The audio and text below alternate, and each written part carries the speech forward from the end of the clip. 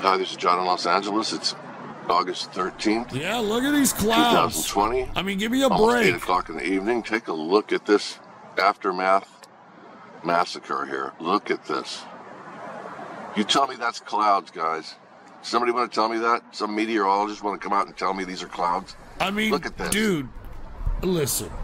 It, it- this is not how clouds used to look like before they started fucking with the atmosphere. This is not how clouds used to look like.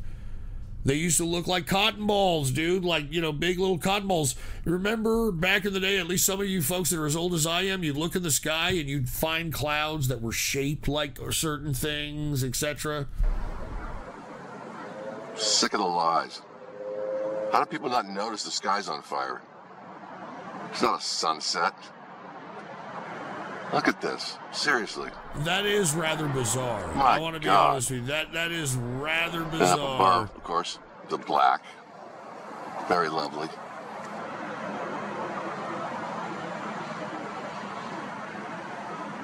Yeah, this is unbelievable, guys. I, I, I, right look, now. listen. This guy is just as shocked as I am because people don't even pay attention.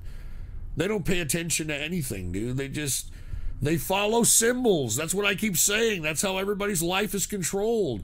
You follow symbols. All right. You wake up.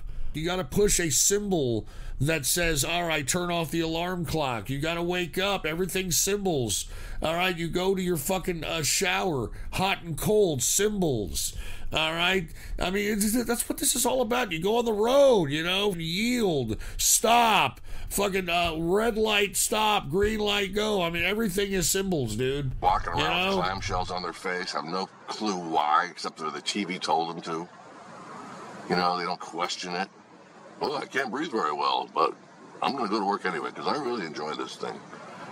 It's my comfort thing. It's like Linus's blanket. I feel safe. Like no germ can get me. You got that right. You need the good germs too, guys. You're wearing those masks. Come on. Look at this. You look at this. Here's your California postcards. Come to California. Oh, yes. Uh, I had to show this to you, man. this Yeah, is it's just sad, dude. It's sad. I know. And once you start talking about it, I'm out. you know that it's been proven that people have gotten specimens of the air in which you had these chemtrails being blown in. And you know what they're throwing in the sky? They're throwing in aluminum and barium. And why are they doing that? Well, you got to ask yourself that. But uh, it is known that these elements, when exposed to the human body, weaken the body, weaken the immune system of the body. All right, I mean, just just just take a look at uh, aluminum overdose and see what I'm talking about.